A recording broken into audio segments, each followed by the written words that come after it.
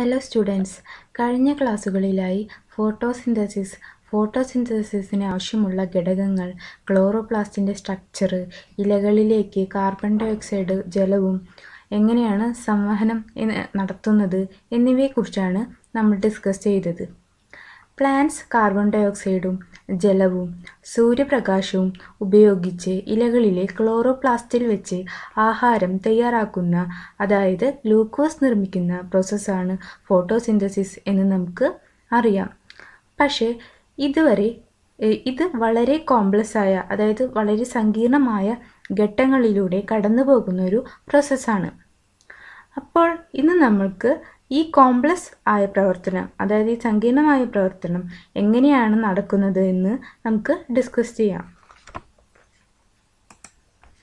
Chemistry of photosynthesis അല്ലെങ്കിൽ പ്രകാശ സംശ്ലേഷണത്തിന്റെ രസതന്ത്രം.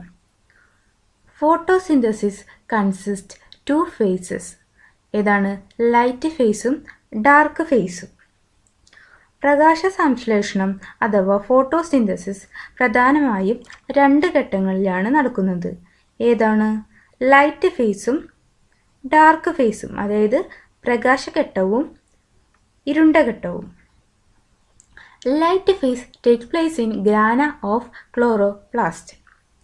ഇനി ഈ രണ്ട് രണ്ട് ഘട്ടങ്ങളും നടക്കുന്നത് രണ്ടും രണ്ട് സ്ഥലങ്ങളിലാണ്. പ്രകാശഘട്ടം അതായത് ലൈറ്റ് ഫേസ് നടക്കുന്നത് എവിടെയാണ്? ഹരിതകണത്തിൽ അഥവാ ക്ലോറോപ്ലാസ്റ്റിലെ ഗ്രാനയിലാണ് നടക്കുന്നത്. ഇനി ഡാർക്ക് ഫേസ് അതായത് ഇരുണ്ട ഘട്ടം എവിടെയാണ് നടക്കുന്നത്? Take place in stroma of chloroplast അതായത് സ്ട്രോമ പറഞ്ഞ ക്ലോറോപ്ലാസ്റ്റിലെ ദ്രാവക ഭാഗമാണ് എന്ത്? സ്ട്രോമ അപ്പോൾ ക്ലോറോപ്ലാസ്റ്റിലെ സ്ട്രോമയിലാണ് ഡാർക്ക് ഫേസ് അഥവാ ഇരുണ്ട ഘട്ടം നടക്കുന്നത്. Then light is required in light phase പ്രകാശഘട്ടത്തിൽ സൂര്യപ്രകാശം ആവശ്യമുണ്ട്. In dark phase light is not used അതായത് ഇരുണ്ട ഘട്ടത്തിൽ പ്രവർത്തനങ്ങൾ നടക്കാൻ എന്താ സൺലൈറ്റ് അല്ലെങ്കിൽ സൂര്യപ്രകാശം ആവശ്യമില്ല. ഇനി നമുക്ക് അടുത്തതായി ഈ രണ്ട് ഘട്ടങ്ങളിൽ നടക്കുന്ന പ്രവർത്തനങ്ങൾ എങ്ങനെയൊക്കെയാണ് നമുക്ക് വിശദമായിട്ടൊന്ന് പഠിക്കാം. അപ്പോൾ നമുക്കറിയാം ക്ലോറോപ്ലാസ്റ്റ് എവിടെയാണ് കാണുന്നത്? ലീഫിൽ അല്ലേ? ലീഫിലാണ് ക്ലോറോപ്ലാസ്റ്റ് കാണുന്നത്. അങ്ങനെയുള്ള ഈ ക്ലോറോപ്ലാസ്റ്റിലേക്ക് സൂര്യപ്രകാശം എന്റർ ചെയ്യാണ്. അതായത് ലൈറ്റ് എന്റേഴ്സ് ക്ലോറോപ്ലാസ്റ്റ് അപ്പോൾ ക്ലോറോപ്ലാസ്റ്റിലേക്ക് ലൈറ്റ് എന്റർ ചെയ്ത് കഴിഞ്ഞു. സൺലൈറ്റ് എന്റർ ചെയ്ത് കഴിഞ്ഞു. അപ്പോൾ നമുക്കറിയാം നെക്സ്റ്റ് എന്താ? ക്ലോറോഫിലി അല്ല ക്ലോറോപ്ലാസ്റ്റിലാണ് ഗ്രാന കാണുന്നത് അല്ലേ?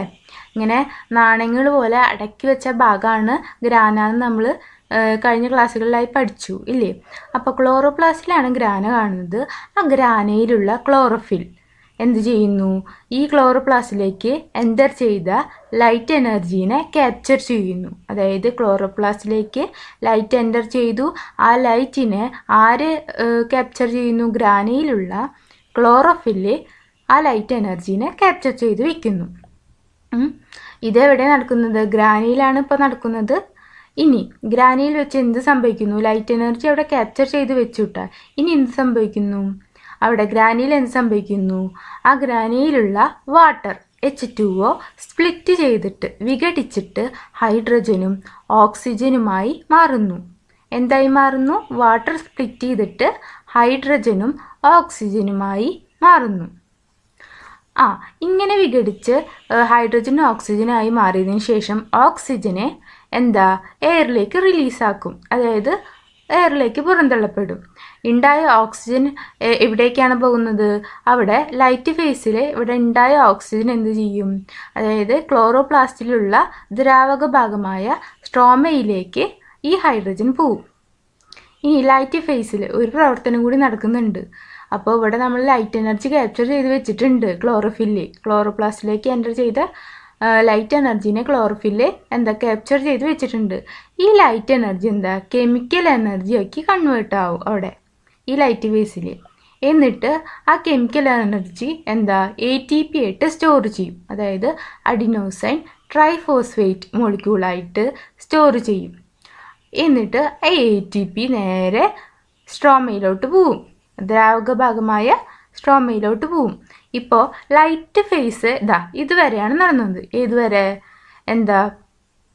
വാട്ടർ സ്പ്ലിറ്റ് ചെയ്തിട്ട് ഹൈഡ്രജൻ ഓക്സിജൻ ആയിട്ട് മാറുന്നു. എന്നിട്ട് ഓക്സിജൻ എയറിലേക്ക് റിലീസ് ചെയ്യുന്നു. ഹൈഡ്രജൻ നേരെ സ്ട്രോമയിലോട്ട് പോകുന്നു. ക്യാപ്ചർ ചെയ്ത ലൈറ്റ് എനർജി കെമിക്കൽ എനർജി ആയിട്ട് സ്റ്റോർ ചെയ്യുന്നു. ആ സ്റ്റോർ ചെയ്യുന്നത് ഏത് രൂപത്തിലാണ്? എ ടി പിയുടെ രൂപത്തിലാണ്. എ ടി പി എന്നിട്ട് സ്ട്രോമയിലോട്ട് പോകുന്നു. നമ്മളിപ്പോൾ ഇതുവരെ പറഞ്ഞ ഭാഗമാണ് ലൈറ്റ് ഫേസ് ഏ ലൈറ്റ് ഫേസ് കഴിഞ്ഞിട്ട് അടുത്ത ഭാഗം ഇരുണ്ട ഘട്ടം ഡാർക്ക് ഫേസിലോട്ട് കടക്കുകയാണ് ആ ഡാർക്ക് ഫേസ് എവിടെ വെച്ചിട്ടാണ് നടക്കുന്നത്? സ്ട്രോമയിൽ വെച്ചിട്ടാണ് നടക്കുന്നത്. അപ്പം നമുക്ക് നോക്കാം ഡാർക്ക് ഫേസിൽ എന്താ സംഭവിക്കണമെന്ന് നോക്കാം. അപ്പം നമ്മൾ പറഞ്ഞു വാട്ടർ സ്പ്ലിറ്റ് ആയിട്ട് ഹൈഡ്രജൻ ഉണ്ടായപ്പോൾ ഹൈഡ്രജൻ നേരെ സ്ട്രോമയിലോട്ട് വന്നു. അതുപോലെ എ ടി പി എന്ത് ലൈറ്റ് എനർജി കെമിക്കൽ എനർജി ആയിട്ട് കൺവേർട്ട് ചെയ്തപ്പോൾ എ ടി പി ഉണ്ടായി. എ ടി പി നേരെ സ്ട്രോമയിലോട്ട് പോന്നു ഇല്ലേ? ഏ അപ്പോൾ ഈ സ്ട്രോമയിലുള്ള കാർബൺ ഡൈ ഓക്സൈഡും ഹൈഡ്രജൻ വന്നു സ്ട്രോമിലേ സ്ട്രോമയിലോട്ട് ഹൈഡ്രജൻ വന്നിട്ടുണ്ട്. ആ ഹൈഡ്രജനും സ്ട്രോമയിലുള്ള കാർബൺ ഡൈ ഓക്സൈഡും കൂടി കമ്പൈൻ ചെയ്യും. ആരുടെ ഹെൽപ്പോടെ എ ടി പിയുടെ ഹെൽപ്പോടെ അതായത് എ ടി പി ഇവിടേക്ക് വന്നിട്ടുണ്ട്. ആ എ ടി പിയുടെ ഹെൽപ്പോടെ ഹൈഡ്രജനും കാർബണും കൂടി കമ്പൈൻ ചെയ്തിട്ട് ഗ്ലൂക്കോസ് പ്രൊഡ്യൂസ് ചെയ്യും. ഈ ഈ പ്രവർത്തനത്തെ ഈ പ്രവർത്തനമാണ് ഡാർക്ക് ഫേസ് അതായത് ഇരുണ്ട ഘട്ടം. ഇത് എവിടെ നടക്കുന്നത്? സ്ട്രോമയിലാണ് നടക്കുന്നത്. അല്ലേ? അപ്പോൾ നമുക്ക് ഈ പ്രവർത്തനങ്ങൾ മനസ്സിലായില്ലേ? ലൈറ്റ് ഫേസും ഡാർക്ക് ഫേസും എങ്ങനെയാണെന്ന് മനസ്സിലായില്ലേ? ലൈറ്റ് ഫേസ് ഗ്രാനയിൽ വെച്ച് നടക്കുന്നു ഡാർക്ക് ഫേസ് സ്ട്രോമയിൽ വെച്ച് നടക്കുന്നു. അപ്പോൾ ഇനി നമുക്ക് ഇതിന്റെ പോയിന്റ്സ് ഒന്ന് ഡിസ്കസ് ചെയ്യാം. ക്ലോറോപ്ലാസ്റ്റിലാണ് എന്താ കാണുന്നത്? ഗ്രാനയും കാണുന്നത് സ്ട്രോമയും കാണുന്നത് ക്ലോറോപ്ലാസ്റ്റിലാണ് ലൈറ്റ് ഫേസ് അവിടെ നടക്കുന്നത്? ഗ്രാനയിൽ വെച്ചിട്ട്. ഡാർക്ക് ഫേസ് സ്ട്രോമയിൽ വെച്ചിട്ട്. ഇനി ഗ്രാനയിൽ വെച്ചിട്ട് എന്തുണ്ടാവണത്? അതായത് ലൈറ്റ് ഫേസ് എന്താ ലൈറ്റ് ഫേസിൽ എന്ത് സംഭവിക്കുന്നത്? ലൈറ്റ് ഈസ് യൂസ്ഡ് ലൈറ്റ് ഫേസിൽ എന്താ? സൂര്യപ്രകാശം ആവശ്യമാണ്.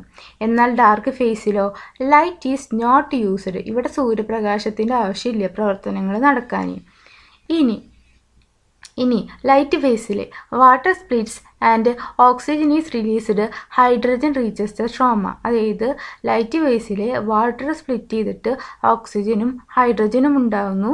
ഓക്സിജൻ എയറിലേക്ക് പുറന്തള്ളപ്പെടുന്നു. ഹൈഡ്രജൻ നേരെ സ്ട്രോമയിലോട്ട് പോകുന്നു.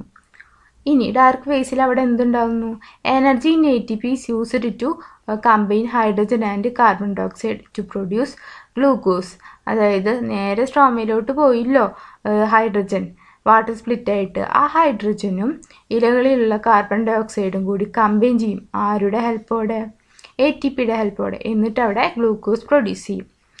ഇനി ലൈറ്റ് വേസിൽ അവിടെ ദ ലൈറ്റ് എനർജി ക്യാപ്ചർ ചെയ്തു വെച്ച ലൈറ്റ് എനർജി എങ്ങനെ കൺവേർട്ട് ആവുകയാണ് chemical എനർജിക്ക് and stored in A T P A T പിയുടെ ഫോമിൽ സ്റ്റോർ ചെയ്യുകയാണ് ഈ എ ടി പി ആണ് എന്താ അവിടെ ഗ്ലൂക്കോസ് ഉണ്ടാക്കാൻ നമ്മൾ ഉപയോഗിക്കുന്നത്. ഇനി നെക്സ്റ്റ് അപ്പോൾ നമുക്കറിയാം പ്രകാശ അതായത് പ്രകാശഘട്ടത്തിന്റെ തുടർച്ചയാണ് ഇരുണ്ട ഘട്ടം അല്ലേ? സൂര്യപ്രകാശം സൂര്യപ്രകാശ ലഭ്യത കുറവുള്ള സമയമാണെങ്കിൽ ലൈറ്റ് ഫേസ് നടക്കില്ല ലൈറ്റ് ഫേസ് നടന്നില്ലെങ്കിൽ ഡാർക്ക് ഫേസും നടക്കില്ല അതായത് ഇരുണ്ട ഘട്ടവും നടക്കില്ല. അപ്പോൾ നമ്മൾ ഫോട്ടോസിന്തസിസിനെ കുറിച്ചിട്ട് പഠിച്ചു. അപ്പോൾ ഫോട്ടോസിന്തസിസ് എന്ന് പറഞ്ഞാൽ ഒരു സങ്കീർണമായ ഒരു സൈക്ലിക് പ്രോസസ്സാണത് ഈ സൈക്ലിക് ചേഞ്ചിനെ കുറിച്ച് പഠനം നടത്തിയത് മെൽവിൻ കാൽവിൻ എന്ന സയന്റിസ്റ്റാണ് അദ്ദേഹത്തിന്റെ ചിത്രം ഇവിടെ കൊടുത്തിട്ടുണ്ട്. അപ്പോൾ നമുക്ക് നോക്കാം.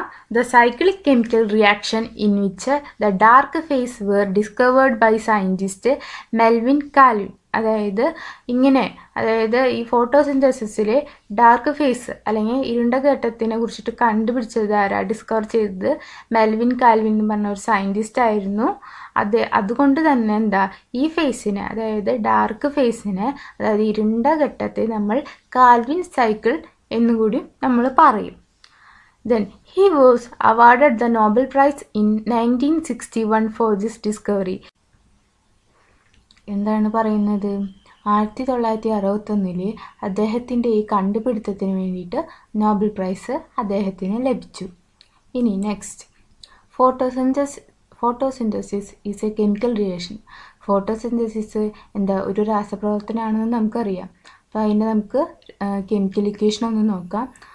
Six C O two plus six H two O gives C six H twelve O six plus six C O two അതായത് കാർബൺ ഡൈ ഓക്സൈഡും വാട്ടറിലുള്ള ഹൈഡ്രജനും കൂടി കമ്പൈൻ ചെയ്തിട്ട് ആരുടെ ഹെൽപ്പോടെ എ ടി പിയുടെ ഹെൽപ്പോടെ കമ്പൈൻ ചെയ്തിട്ട് എന്താ ഗ്ലൂക്കോസ് ഉണ്ടാവുന്നു. സിക്സ് സിക്സ് എച്ച് ടു ലോ സിക്സ് പറഞ്ഞാൽ ഗ്ലൂക്കോസ് ഗ്ലൂക്കോസ് ഉണ്ടാവുന്നു. ഈ പ്രവർത്തനമാണ് ഫോട്ടോ സിന്തസിസ് ഇനി ഇന്ന് നമ്മൾ എന്തെല്ലാമാണ് ഡിസ്കസ് ചെയ്തത്? ആ ഫോട്ടോസിന്തസിസിന്റെ ഘട്ടങ്ങൾ ലൈറ്റ് ഫേസും ഡാർക്ക് ഫേസും അതിന് വിശദമായിട്ട് നമ്മൾ പഠിച്ചു. അതിന്റെ ഘട്ടങ്ങൾ എവിടെയൊക്കെയാണ് നടക്കുന്നത് ലൈറ്റ് വേണോ വേണ്ടേ എന്നൊക്കെ നമ്മൾ പഠിച്ചു. അപ്പോൾ ഇന്നെടുത്തത് എല്ലാവർക്കും മനസ്സിലായല്ലോ? ഇനി തുടർന്നുള്ള ക്ലാസ്സുകളിൽ നമുക്ക് അടുത്ത ഭാഗങ്ങൾ പഠിക്കാം.